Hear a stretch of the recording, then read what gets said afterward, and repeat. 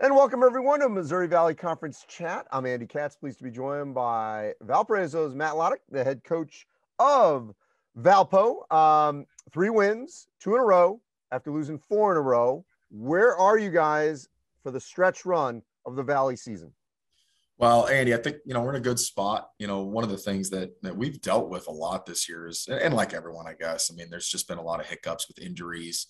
You know, um, guys being out for you know health and safety protocols and things like that. I think you know one of the things that we've been able to do is we as we've gotten healthy is you know kind of solidify rotations um, and i think it's helped us you know our guys are playing with a little more confidence um, and um, you know, it, our league, like everyone, everyone says their league's really tough. I think our league is as strong as it's ever been. Um, you know, you watch, you know, a team like uh, Missouri State go into Loyola and, and, beat them pretty handily.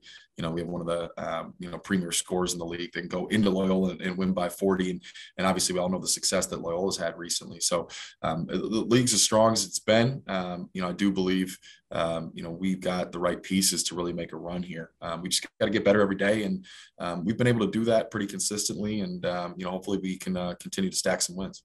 Yeah, to that point, what we've seen this season in the Valley, uh, obviously Loyola looked like the clear favorite, and mm then bam, Isaiah Mosley goes for 40, and Missouri State wins at Loyola. Now, you know, mm it's a race. I mean, they got one loss, they got two, other people have two, and right. um, obviously you have a hole, but it seems like the hole you can climb out of at least to be in that yep. top four. Of course, seeding matters for the Arch Madness to then potentially get a bid. And the beauty of the league this year is we can feel pretty comfortable that if the season were today to end, Loyola would be in, and if someone beat them, you'd at least get two for yeah. sure.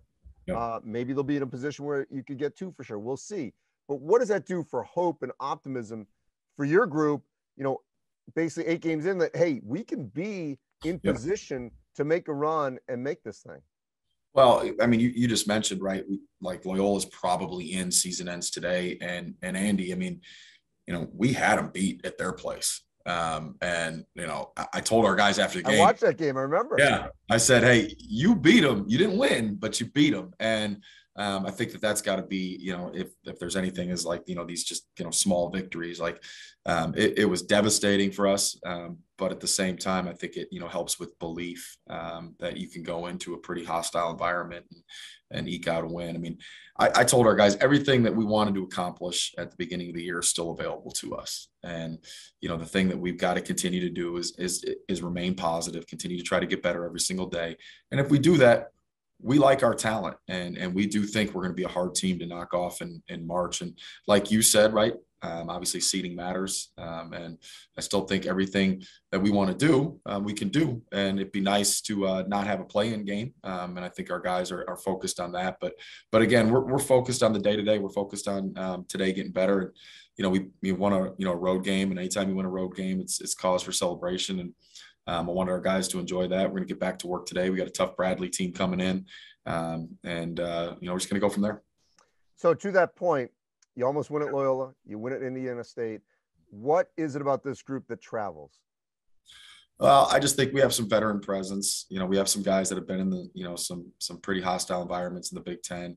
Um, you know, we're a little more experienced, really like everyone is, right? And so um, I do think, um, you know, experience wins in college basketball. Obviously, talent wins, but um, having some guys with some experience. Now, blending that experience, right? We've had, you know, guys the, from the transfer portal, but blending that experience is, um, I think, what takes a little bit of time. And um, I actually talked to, to Coach Drew.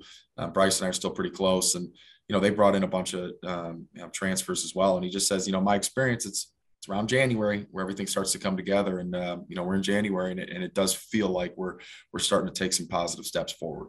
Hey, Matt, while I have you, big news in the Valley. Uh, yeah. I, you know, I think that there's no question the moves the Valley has made in the last year to solidify its standing within leagues that can be multiple bid, I think it's significant. Losing Loyola obviously hurts to go to A10, but then bam, Belmont, mm. Murray State, two of the most successful OVC programs, you know, in recent memory, if not ever. And then UIC uh, to, to ensure that the Valley stays in Chicago, near Valpo, uh, yep. What's the significance of what we've seen in the last uh, year with these moves?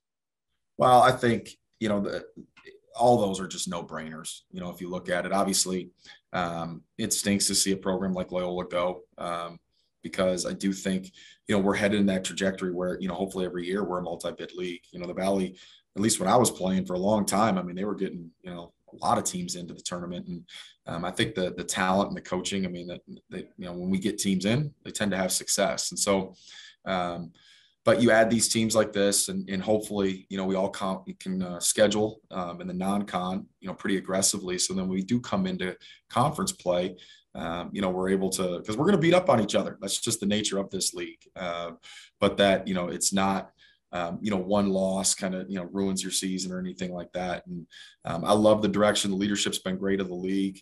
Um, it's it's a really fun time. I mean, it's it's every game. I mean, every game you better bring it, and um, I'm sure every coach in the league feels like that. And one last thing, Matt, uh, just for to humor myself, I I was rewatching your buzzer beater against Washington State, and I remember, you know, I was at the Nick Robinson buzzer beater when Stanford beat Arizona. Uh, You know, I, am curious. One, two quick things. One, which one is better? Because he's a former teammate. And then two, the art of the buzzer beater, which you you have to coach now, like late possession. What do you do? Uh, what do you tell your team?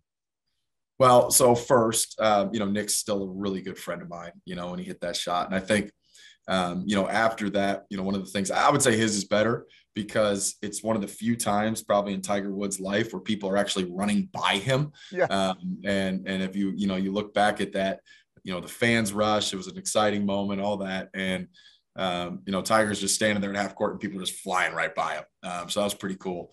Um, but then you know the art of the buzzer beater. I mean, for for um, you know me, it's um, you know we want to try to get the ball in, in a player that's got some confidence, um, that's got some uh, not afraid of the moment.